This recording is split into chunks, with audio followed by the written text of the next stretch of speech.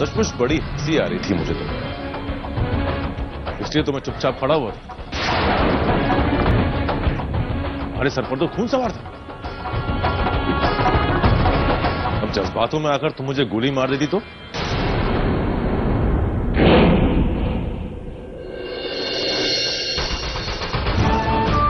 किस्मत का खेल भी कमाल है ना बोल एक तरफ़ तुम मुझे मारना चाहती हो और दूसरी तरफ़ ये तुम्हारा पति राधे मुझे बचाना चाहता एक बात तो आज तय हो गई है मोदी राधे के होते हुए मुझे किसी सुरक्षा कवच की ज़रूरत नहीं। तुम तो शुक्र मनाओ भगवान का कि राधे तुम्हारे और मेरे बीच में आकर खड़ा नहीं हो गया।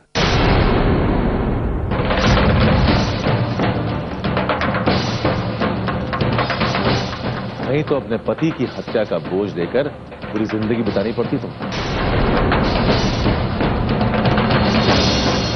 राधे, जितना वफादार पति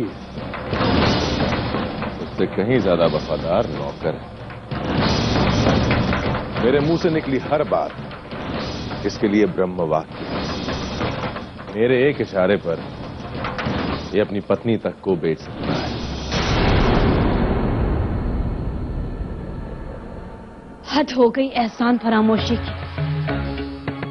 राधे ने आपकी जान बचाई। उसका एहसान मानने की बजाय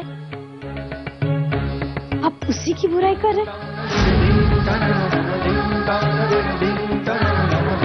ठाकुर, आपको भगवान का शुक्रिया अदा करना चाहिए कि आपको इतनी अच्छी किस्मत दी। बहुत खुशनसीब हैं आप।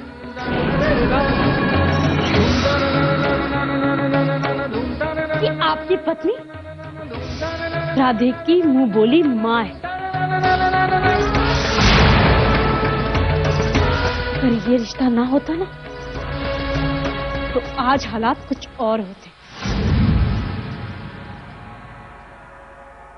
ठाकुर, आप राधे की अच्छाई को कभी नहीं समझ पाएँगे।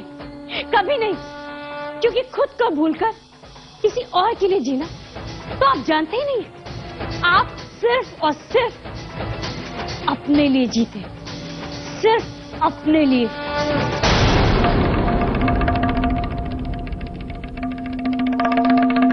पता नहीं कितनी गलतफहमियाँ पाल रखी हैं तुमने राधे मेरे लिए जीता है और मेरे लिए मर भी सकता है।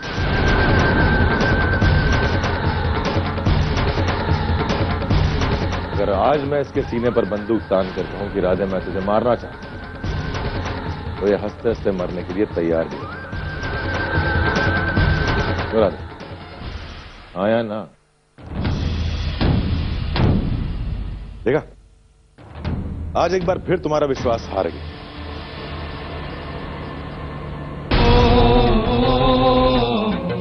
लेकिन इसमें गलती तुम्हारी नहीं है तुम्हारी याददाश्त ही इतनी कमज़ोर है। आज तुम कैसे बोल जब मैं तुम्हारे कमरे में तुम्हारे साथ सुहागरात मनाने आया। और तुम्हारा पति राधे बाहर खड़ा पहरा दे रहा अब तुम कहोगे कि उस वक्त तो कुछ जानता ही नहीं था, कुछ समझता ही नहीं था। लेकिन आज आज तो ये सब कुछ जानता है। मेरे इरादों से अच्छी तरह वाकिफ भी। फिर भी मुझे इस बात का यकीन है। राधे मुझे तुम्हारे साथ कुछ भी करने से रोकेगा नहीं।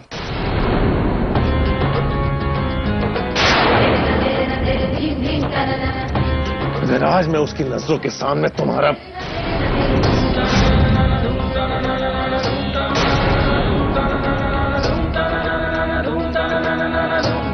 तब भी इसके चेहरे की एक रेखा भी नहीं लेगी।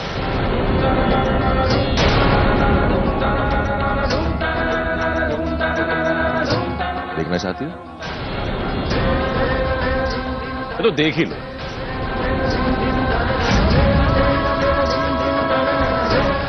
इसी बहाने तुम्हें अपने पति के प्यार को आजमाने का मौका तो मिलेगा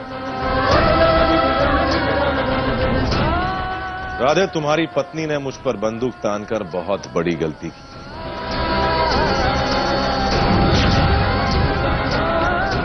मैं उसे इस गलती की सजा देने जा रहा हूँ।